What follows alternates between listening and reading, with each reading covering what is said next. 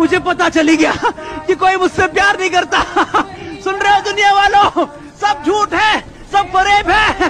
अब मैं आज़ाद हूँ। थैंक यू ऊपर वाले। तूने मुझे मेरी औकात दिखा दी। आज के बाद इस दुनिया में कभी किसी को अपना मत समझना।